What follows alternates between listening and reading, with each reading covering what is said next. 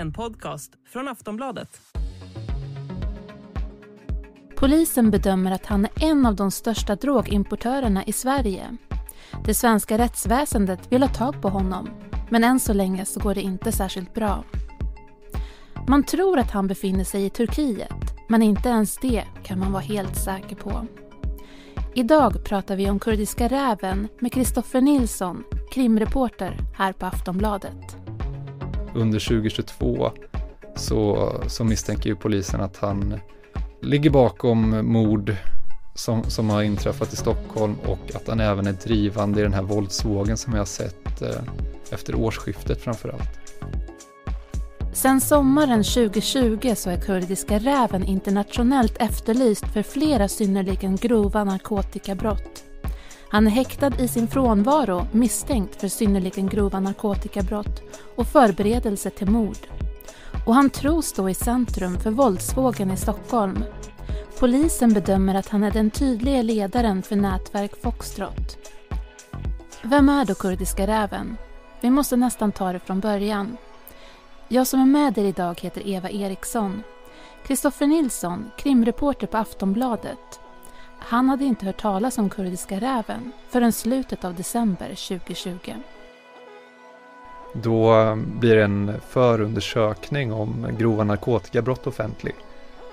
Och i det här målet så är det en eh, narkotikakurir som åtalas bland annat. Men tack vare att man vid det här laget hade knäckt eh, den här krypterade chatten Encrochat så kunde man se hur kuriren agerar på uppdrag av en man som chattade under aliaset eh, Fox Kurdish.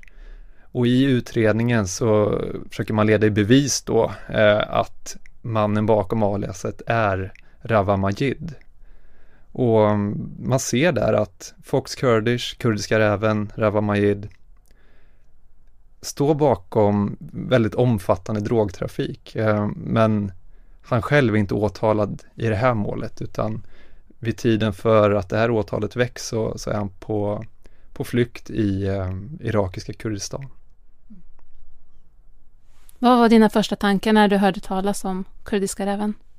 Eftersom att det här var ett av de liksom tidiga Encrochat-målen eh, så slogs man ju av vilken insyn man faktiskt fick när man läste förundersökningar som baserades på det här.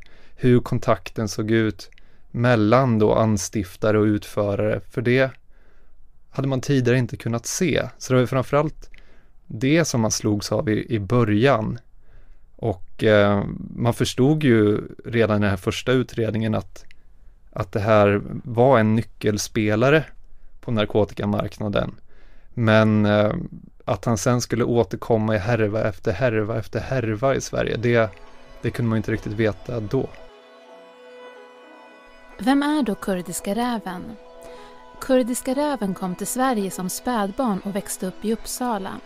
Det fanns inga tidiga klassiska varningssignaler som visade på att han skulle komma att komma in på en kriminell bana. Det är en man som heter Rawa Majid som är 36 år gammal, bakgrund i Iran. Han växer upp i Uppsala och går i skolan och när man läser skolbetygen så ser det ut som att det går helt okej okay för honom. Um, klarar grundskolan, läser vidare på gymnasiet med mycket inriktning på handel och turism. Och det är inte ett betygsprotokoll som är liksom den gängse kriminelle. Även om han inte har godkänt i allting så är det ändå, alltså uppnår rätt höga studieresultat i vissa ämnen. Och då är det de som handlar om handel och, och personlig marknadsföring, service. Den typen av ämnen visar han liksom tidigt ett driv för. Och efter gymnasiet så enligt hans egna uppgifter i senare förhör så startar han en kiosk, han börjar handla med bilar. Så, så det finns ett starkt entreprenörsdriv där. Men det som också händer efter gymnasiet är att då börjar han sin kriminella bana, åtminstone enligt brottsregistret då. För det tar inte så lång tid innan första domen kommer, det är bara året efter att han har gått ut. Så då, döms han för bedrägerier och urkundsförfalskning och får betala dagsböter. Sen eh, dröjer det ytterligare några år med ett par punkter i brottsregistret men ingenting som är så jättestort. Men då i eh, 2009 så döms han till ett långt fängelsestraff för eh, grovt narkotikabrott. Då har polisen hittat narkotika i hans garage och han döms till ett långt straff för det var mycket strängare på den tiden. Sen så avtjänar han det till 2015 när han muckar men här börjar han begå nya brott och döms återigen. Så det är först 2018 som han kommer ut för att vara ute för en längre tid. Så mm, det är en ganska stark kontrast mot de tidigare åren för att det finns inte de här äh, typiska mm, liksom, varningssignalerna som vi ser bland, bland många kriminella, att, att det är väldigt struligt och att det är väldigt tidiga insatser eller tidiga domar, utan det kommer senare här. Och, och när det kommer så kommer det ju med, med kraft kan man säga. Vad tycker han då om att bli kallad kurdiska räven och hur kom det till? Polisen bedömer alltså att han är en av de största drogimportörerna i Sverige. Vi ska strax prata mer med Kristoffer. Ikväll spelas Champions League, RB Leipzig, Manchester City. Favorit är Manchester City till 1,80 gånger pengarna. Och kom ihåg, kolla upp fakta, statistik och schyssta odds på unibet.se för den här och många andra matcher. Unibet, av spelare, för spelare. För dig över 18 år, stödlinjen.se.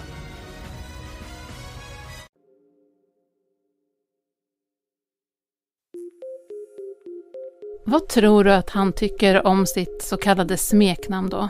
Kurdiska räven?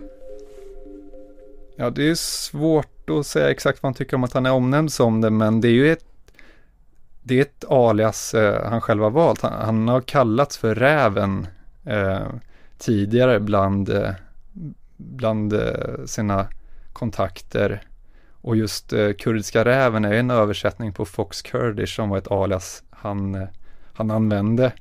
Det var faktiskt Aftonbladets reporter eh, Kerstin Nilsson som som är en av de främsta stilisterna vi har, som i en av de första artiklarna om honom skrev den kurdiska räven. Och hon såg väl där att det fanns ett epitet där och att det inte bara var ett eh, chatt-alias och sen dess har ju det där namnet verkligen etablerats. Han beskrivs ju nu då som en knarkkung, kan man säga. Men vad vet vi om det här? Ja, det finns ju en lång rad förundersökningar där som samtliga leder i bevis att i de utredningarna så bedöms han vara den som är överst i hierarkin. Polisen bedömer att han är en av de största drogimportörerna i Sverige. Och det som jag tycker är intressant när man läser de här olika utredningarna där han förekommer, det är att han har en sån eh, kontakt, inte bara med personerna direkt under honom i, eh, i ett led om man tänker att man har ett, ett nätverk som är hierarkiskt uppbyggt, utan han har även kontakt med eh, lagerhållare, springpojkar, kurirer. En väldigt tät kontakt och till och med guidar och liksom stöttar de, eh, de personerna som är längst ner i hierarkin. Så, så han, han toppstyr nätverket och, och liksom detaljstyr i varje led enligt de här misstankarna som finns mot honom. Finns det någon beskrivning om, om liksom hur han är? Det låter ju som att han är väldigt strategisk i detalj. Har han våldsamma tendenser? Liksom, vad vet vi om honom? Polisen ser att han har ett eh, jättehögt våldskapital. När han först blev liksom, omskriven i media och sådär, slutet av 2020, så um, tror jag intrycket man hade den bilden, men sen stod det klart ganska tydligt under 2021 att, det, att, han, eh, att han har ett våldskapital. Det var flera dåd i norra Stockholm som man misstänker att han låg bakom då från distans. Eh, sen har ju det fortsatt visa sig att under 2022 så, så misstänker ju polisen att han ligger bakom mord som, som har inträffat i Stockholm och att han även är drivande i den här våldsvågen som vi har sett eh, efter årsskiftet framför allt. Vi ska komma in på det, eh, men först, han greps våren 2022. Vad var det som hände då? Ja, han grips i Turkiet då våren 2022. Då har han eh, vistats permanent utomlands i ett par års tid och är mm, liksom sedan den tiden, sedan sommaren 2020, så är han internationellt efterlyst för flera synnerligen grova narkotikabrott. Eh, först tar han sin tillflykt till irakiska Kurdistan och ehm, i november 2021 så görs ett polistillslag hos honom. Men eh, han är borta när polisen tar sig in. Det man kan se i olika förundersökningar det är att eh, ett femtontal mobiltelefoner är kvar i den här bostaden och de har tömts på innehåll som används då. Men, eh, men det tyder på att han lämnade i all hast då Dagens Industri som har uppmärksammat det här bland annat har, eh, har uppgifter på att han vid den här tiden hade eh, liksom kopplingar, alltså Mm, väldigt etablerade känningar in, in, in i styret i, i, i, kurdiska Irak. Men efter det här så, så ska han ta sig till Turkiet där han, där han sen grips. Så gripandet i Turkiet det är också en väldigt märklig historia. Då är det en parkarbetare i en, eh, en kuststad där som hittar en väska med pengar. Sen exakt vad som har hänt är inte helt klarlagt men eh, det leder i alla fall till att eh, polisen kan koppla den här väskan med pengar som har hittats till Rawa Majid då. Då ska han ha bott i Turkiet under falsk identitet och enligt tidiga uppgifter poserat som någon slags skeppsredare. Uh, han grips av turkisk polis men, uh, men släpps sen. Och vad som ligger bakom det här frisläppandet, det, det har inte riktigt blivit klarlagt än. Men eh, det man har förstått under tiden och fått bekräftat, det är att han har fått turkiskt medborgarskap, vilket man kan få om man till exempel investerar eh, i fastigheter. Så mm, svenskt åklagarväsende har ju försökt få honom utlämnad men, men Turkiet har vägrat för att, för att man lämnar inte ut sina egna medborgare helt enkelt. Kurdiska räven tros stå i centrum för våldsvågen i Stockholm. Men hur ser hans roll ut? Så här säger Kristoffer Nilsson.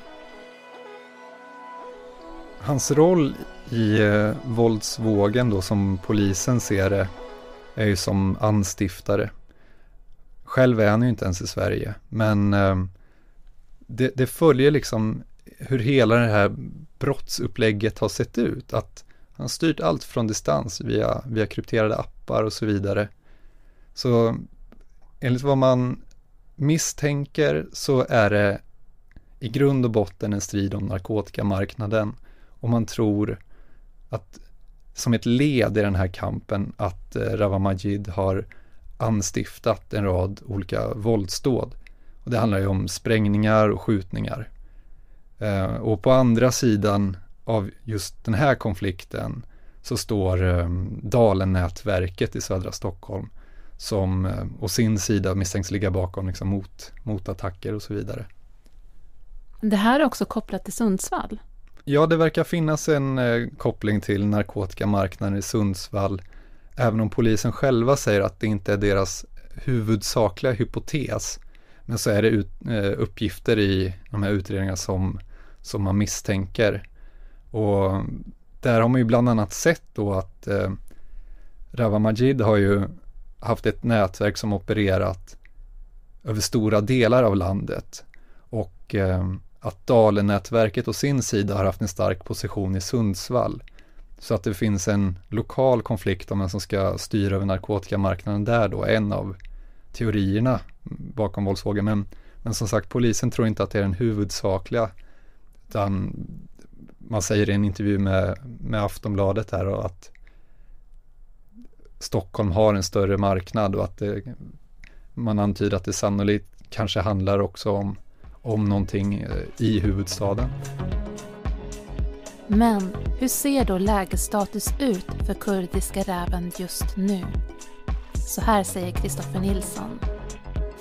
Från svenskt håll så vill man ju få honom utlämnad men man har ju mötts av kalla handen. Det har gjorts försök med olika lösningar eller liksom förfrågningar. Eh, det förs samtal på, på liksom statlig nivå då eh, enligt vad vi förstår. Men som, eh, som läget är nu så finns det ingen åklagaren ser ingen, inget liksom, troligt scenario att, att Turkiet kommer självmant lämna ut honom. så. Det kommer väckas åtal nu i, i mars, är väl tanken i alla fall, eller? Exakt, han utöver väldigt många synnerligen grova narkotikabrott så är han också formellt då misstänkt för förberedelse till mord. Och det här är ett led i en konflikt med Bandidos. Åklagaren räknar med att kunna väcka åtal i mars och det sitter häktade personer för det här i det här fallet. Eh, grundärendet är att en man skjuts ihjäl utanför Bandidos lokaler. Men, och, och det Rawa Majid misstänks för det är förberedelse eller, eller stämpling till mord. Men där finns det ingen målsägande så att det, det inte, finns ingen så utpekad att den här har Rawa Majid då velat ha ihjäl enligt misstanken utan som åklagaren säger, det rör sig mot en viss krets. Men eh, åklagaren har ju inga förhoppningar, sist jag pratade med henne, om att han ska liksom, ställas till rätta för det här. Utan å, åtal kommer väckas, men hans närvaro lär vara obefintlig. Och vad innebär det? Då inget händer med honom då, eller? Nej, mm. eh, precis. Han kommer inte de kommer inte kunna ha möjlighet att lagföra honom eh, när han inte är där, utan han kommer fortsätta vara internationellt efterlyst då. Eh, men däremot så kommer ju andra personer att, att åtalas i det här fallet och de sitter redan frihetsberövade. Vad tror du då om framtiden för kurdiska räven? Han misstänks ju för de här brotten och är internationellt efterlyst. Han har ju inga skäl att eh, vilja komma hit. Han har sagt i en intervju med SVT att han känner sig redan dömd på förhand.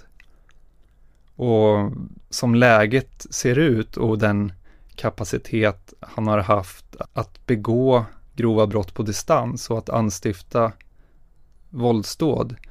Så mm, det är svårt att säga om framtiden men det går inte att utesluta att, att den brottsligheten bara kan fortsätta. Det sa Kristoffer Nilsson, krimreporter på Aftonbladet. Du har lyssnat på Aftonbladet Daily. Jag heter Eva Eriksson och vi hörs snart igen.